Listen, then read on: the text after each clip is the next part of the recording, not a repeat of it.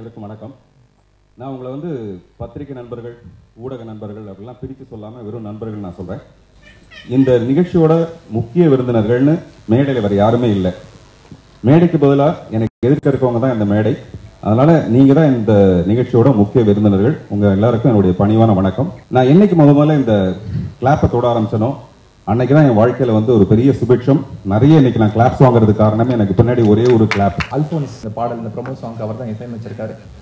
அவர் வந்து நான் ஏற்கனவே ரஹ்மான் அவர்களோட அலுவலகத்தில் வந்து ஒரு வாட்டி சந்திச்சிருக்கேன். ஒரு பாடலுக்காக. அவர் வந்து ஆரோமலை பாட்டு பாடினார் இல்லையா? ஸோ அந்த அந்த பா அந்த பாடல் பாடினவர் தான் அவர் தான் இந்த பாட்டுக்கு இசையமைச்சிருக்காரு. ரொம்ப நல்ல அனுபவம் இந்த பாட்டு வந்து. ஏன்னா இப்போ ஒரு நேற்று இரவு வந்து ஒரு எட்டு மணிக்கு ஆரம்பிச்சு இன்னைக்கு கா இன்னைக்கு மதியம் வந்து ஒரு பதினோரு மணிக்குள்ளே இந்த பாட்டை முடிச்சிட்டோம். ஸோ அந்த வேகத்தில் வந்து இந்த பாட்டு பண்ணியிருக்கோம். உங்களுக்காக அந்த பாட்டோட பாடலோட வரிகள். காத்தில் கதை இருக்கே இந்த மண்ணில் கதை இருக்கே செய்ச்சாலும் கதை இருக்கே தோத்தாலும் கதை இருக்கே சொல்லாம மனசுக்குள்ள எத்தனையோ கதை இருக்கே காத்தில் கதை இருக்கே இந்த மண்ணில் கதை இருக்கே கதையில்லா நிமிஷம் இல்லை கதையில்லா மனுஷன் இல்லை உன்னோட வாழ்க்கை இல்லை கதை இல்லைனா நீ எதுவும் இல்ல. காத்தில் கதை இருக்கே இந்த மண்ணில் கதை இருக்கு. பொஞ்சாதிய தோத்த பயலுக போரில் செய்யிச்ச கதை இருக்கு. பொஞ்சாதிய மீட்டுட்டு வார குரங்கு கூட்ட படை இருக்கு. அவ கோபம் பெருகி முலைய திருகி ஊறி எரிச்ச கதை இருக்கு. அதில் கருகி பறந்த காக்கா வாயில் பாட்டி சுட்ட வடை இருக்கே. காத்தில் கதை இருக்கே இந்த மண்ணில் கதை இருக்கே. திரைக்கதை. பின்ன வந்த ஆம நெஞ்ச முன்ன போக ஏங்க வச்சான்? முன்ன போன முயலுக்குள்ள திமிர தந்து தூங்க வச்சான். கதையை முடிக்கும் போது பாவி கேள்வி ஒன்ன அங்க வச்சான். வேதாளத்தை திரும்பி போய் மரத்து மேல தொங்க வச்சான். கதைய நாலு துண்டா வெட்டி அதையும் இதையும் மாத்திட்டான். வெட்டி வேலை ஏன்னு கேட்டா திரைக்கதைன்னு சொல்லிட்டான். காத்தில் கதை இருக்கே இந்த மண்ணில் கதை இருக்கே. வசனம்.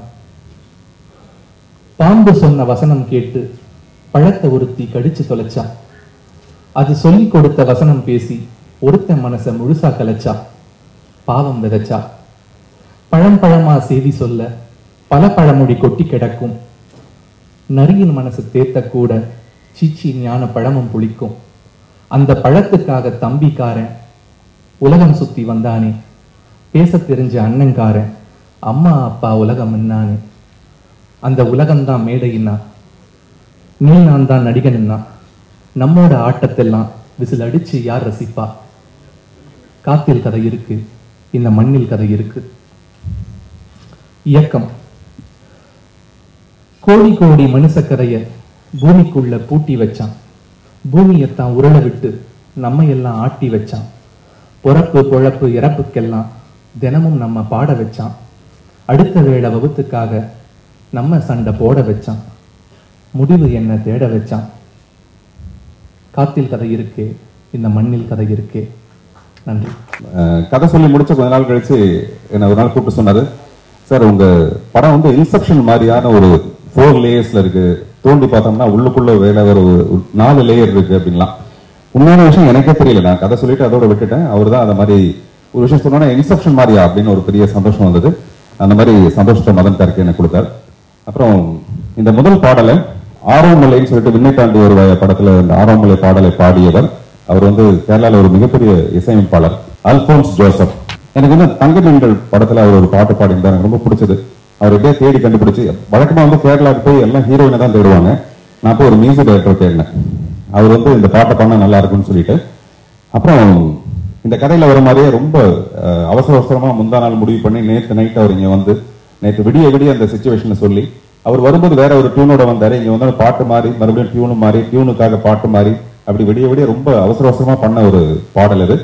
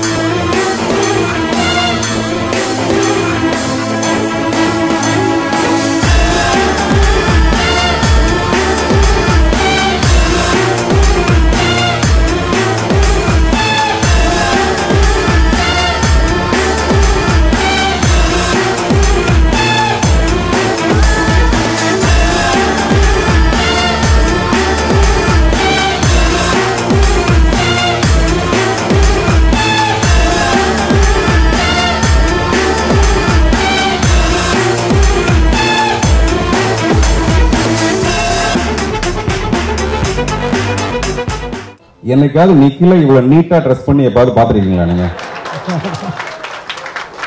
கமல் சாராலேயே திருத்த முடியாத ஒரு மனிதனை நான் திருத்தி இவ்வளவு அழகா நீட்டா ட்ரெஸ் போட்டு கூப்பிட்டு வந்திருக்கேன். அதுல இருந்தே தெரியல இந்த படம் ரொம்ப வித்தியாசமான படம்ட்டு இப்ப மேடை ரெடி ஆகிற வரைக்கும் நிக்கில் ரெண்டு வார்த்தை பேசுவார். பெரியோர்கள் என்ற சபையில் என்னையும் பேச வைத்த என் அம்மா அப்பா மனைவி ஆகியோருக்கு நன்றி. என்னோட சக்சஸுக்கு காரணம் நீங்க தான் நீங்க தானே இந்த பத்திரிகை மற்றும் ஊடக நண்பர்கள் தான் தொடர்ந்து பல்வேறு படங்கள் பண்ணிட்டு இருக்கும்போது ரொம்ப நாளா பார்த்திபன் சார். படம் பண்ணணும்னு ஆசை. ரொம்ப நாளாக கேட்டுட்டு இருந்தேன். இந்த படத்துக்கு வாய்ப்பு கொடுத்து பார்த்திபன் சாருக்கு ரொம்ப நன்றி. சார் கூட ஒரு எயிட் இயர்ஸ் கூட இருக்கேன் இருப்பேன். எனக்கு முன்னாடி நிறைய தகுதிகள் இருக்கு. நான் படித்தது எஜுகேஷன் வேலை பார்த்தது எல்லாம் சார்ட்ட அசிஸ்டண்ட்டாக சேர்ந்ததுக்கப்புறம் என்னோடய என்னோட எல்லா தகுதிகளுக்கும் ஒரே தகுதி தான் நான் அதை சொல்ல ஆரம்பித்தேன் நான் சாரோட அசிஸ்டண்ட் அப்படி மட்டும் தான் சொல்லுவேன் வேறு எதுவுமே சொல்ல மாட்டேன். ரசனையா படம் எடுக்கணுங்கிறது தான் என்னுடைய மிகப்பெரிய ஆசை. நான் இது வரைக்கும் ஒரு 54 நாலு படம் நடிச்சு அதுல ஒரு பத்து படம் ப்ரொடியூஸ் பண்ணியிருக்கேன். ஏதாவது ரொம்ப வித்தியாசமான முயற்சி பண்ணும்போது அது வந்து தயாரிப்பாளர்கிட்ட இருந்து நமக்கு இடைஞ்சல் வரக்கூடாது. அந்த ஒரே காரணத்துக்காக தான் நான் தயாரிப்பாளர்னே தவிர மற்றபடி நிறைய பணம் சம்பாதிக்கணும் அந்த மாதிரிலாம் விருப்பம் எனக்கு இல்லை. இந்த படத்தோட தயாரிப்பாளர் பேர் வந்து திரு கே. சந்திரமோகன் அவர்கள். நான் ஒரு கதை சொன்னேன் ஒரு நாள். ரொம்ப நல்லா இருக்கு சார் இந்த படம் எடுக்கலாம் அப்படின்னாரு. ஏன் சார் உங்ககிட்ட ஏதோ கதை திரைக்கதை வசனம் இயக்கம்னு ஏதோ ஒரு ஸ்கிரிப்ட் இருக்காமே. நான் சொன்னேன் நீங்கள் ஒரு தடவை வரும்போது கதை கேட்டுட்டு இருக்கீங்க சார். அந்த படத்தில் கதையே கிடையாது. நான் எப்படி உங்ககிட்ட சொல்வேன்? அதில் கதையே இல்லாத ஒரு படம் அது. அப்படின்னு அவர் சொன்னார் இல்லை சார் அந்த படத்தை நம்ம எடுப்போம். நீங்கள் எனக்கு கதையை சொல்ல வேண்டியது நான் இவங்க எல்லாமே புது தயாரிப்பாளர்கள். சினிமாவுக்கு வந்து ஏதாவது ஒரு ரசனையோடு நம்ம ஏதாவது செய்யணும்னு ஆசைப்படுறவங்க மட்டும்தான் இந்த மாதிரி தயாரிப்பாளர் நம்ம கிடைக்கிறாங்க. அழகி உட்பட எல்லா படங்களுமே. அந்த வரிசையில் இது என்ன கதை? நான் என்ன படம் பண்ண போகிறேன் எதுவுமே அவங்களுக்கு தெரியாது. இந்த தலைப்பை தவிர ஒரு எதுவுமே தெரியாது. ஸோ முழுக்க முழுக்க என் மேல இருக்கிற ஒரு நம்பிக்கையில இந்த மாதிரி ஒரு மிகப்பெரிய வாய்ப்பை எனக்கு கொடுத்துருக்காங்க. படம் எங்களுக்கு முதல் படம் என்ற காரணத்தினால் நாங்கள் வந்து பார்த்திபன் சாருக்கு எல்லா பொறுப்பையும் நாங்கள் கொடுத்துருக்குறோம். அவருடைய திறமை மேலே எங்களுக்கு ரொம்ப நம்பிக்கை இருக்குது எதையுமே வித்தியாசம் செய்யக்கூடிய ஒரு பழக்கம் உள்ளவங்க இந்த ரெண்டு வருஷமாச்சு நான் படம் பண்ணி வித்தகன் வந்ததுக்கு அப்புறமேல. இந்த பத்திரிகை நண்பர்களை பத்தி ஆஹ், நான் ரொம்ப அதிகமா என் மனசுக்கு பக்கத்துல வச்சிருக்கேன். அது ரொம்ப உண்மையான ஒரு விஷயம். இந்த ரெண்டு வருஷமா நான் படம் பண்ணலைங்கிற விஷயமே தெரியாத அளவுக்கு எல்லா பத்திரிகையிலும் பார்த்தீங்கன்னா என்னை பத்தின ஏதோ ஒரு கட்டுரை அல்லது ஏதோ ஒரு கவிதை எழுத்துற சொல்லுவாங்க. அது வந்து உங்களுடைய எழுத்துல எழுதினா நல்லா இருக்கும் அப்படின்னு சொல்லிட்டு எல்லாருமே கேட்பாங்க. நான் ராத்திரி பன்னெண்டு மணி ஒரு மணிக்கு என்கிட்ட கேட்டால் கூட மறுநாள் காலையில் எழுதி கொடுப்பேன். எனக்கும் அவங்களுக்குமான நட்பும் தொடர்பும். என்னை பற்றி நான் ரொம்ப நல்ல அது வேற விஷயம் பட் என்னை பற்றி எந்த தவறான செய்திகளுமே பத்திரிகையில் வராத அளவுக்கு என்னை உற்சாகப்படுத்துறது ஊக்கப்படுத்துறது எனக்கு குடும்பம்ங்கிறதே சினிமா தான். சினிமா தவிர எதுவுமே இல்லை. ஆனால் இதை ப்ரெஸ் மீட்னு யாரும் சொல்லாதீங்க அப்படின்னு சொல்லிட்டு அதனால இது உங்களுடைய வாழ்த்துக்களுக்காக நான் காத்திருக்கேன். இல்லை அது எல்லாருக்கும் கேட்கட்டுங்கிறதுக்காக இல்ல, கதையே இல்லாத கதைன்னு சொல்றீங்களா? அதுக்கு விளக்கம். அதான் சார் நான் முதல்ல ஆரம்பிக்கும் போது சொன்னேன் நம்ம வாழ்க்கை வந்து எந்த கதையோட அடிப்படையிலும் இல்லை. ஹேங் ஓவர்னு ஒரு படம். ஹேங் ஓவர்னு ஒரு படத்துல பாத்தீங்கன்னா அவன் கதவை திறந்து உள்ள போவோம் உள்ள வந்து பாத்ரூம்குள்ள ஒரு புலி இருக்கும். ஒரு பாத்ரூம்குள்ள புலி எப்படி இருக்கும்னு சொல்லிட்டு ஆரம்பிச்சு அங்க இருந்து கதை சொல்லிட்டு இருப்பாங்க. அடுத்தடுத்த சுவாரஸ்யமான விஷயம். விடிஞ்சா என்ன நடக்க போகுதுன்னு நமக்கு தெரியாது. அடுத்தடுத்த நிமிஷங்களோட சுவாரஸ்யம் தான் வந்து நம்ம வாழ்க்கை. அதே மாதிரி இந்த படத்துல வந்து கதைன்னு ஒண்ணு சொல்லாம அது படத்துக்குள்ளே நாங்க கிண்டல் பண்றோம். ஒரு கேரக்டர் கேட்பாரு இந்த மாதிரி ஏன்பா நூத்தி இருபது ரூபாய் கொடுத்து டிக்கெட் வாங்கிட்டு வருவேன் கதை எங்கன்னு கேட்டா என்னப்பா பண்றது? அப்படின்னு கேட்பாங்க படத்துக்குள்ளேயே. அப்ப இன்னொருத்தர் சொல்லுவாரு நம்ம வந்து புத்திசாலித்தனமா டைட்டில்லையே வந்து எ ஃபில்ம் வித் ஸ்டோரி அப்படின்னு போட்டோம்னா சரியா ஒரு ஆடியன்ஸை நம்ம டியூன் பண்ணி கூப்பிட்டு வந்துடலாம். இப்ப நான் முதல்ல சொன்னேன் கதை இப்படி இல்ல கேரக்டர் என்னவா இருக்க போகுதுன்னு யாருக்குமே தெரியாதுன்னு சொல்லும்போது அதுல நான் நடிக்கிறத விட நடிக்காம இருந்தா புதுசா இருக்கும். இந்த படத்துல யாருமே ஹீரோ ஹீரோயின் அந்த மாதிரிலாம் கிடையாது. இவங்க எல்லாமே கதாபாத்திரங்கள். அவ்வளவுதான். ஸோ அந்த மாதிரி பண்றதுக்கு நான் என்னோட எனக்கு இருக்கிற இமேஜ் வந்து இடைஞ்சலா இருக்கும்னு நான் முடிவு பண்ணேன். அதனால இந்த படத்தை நான் நடிக்கல. என்னோட அலுவலகத்தில் இருக்கிற ஒரே சாமி போட்டோ வந்து எங்க அப்பாவோட போட்டோ மட்டும்தான்.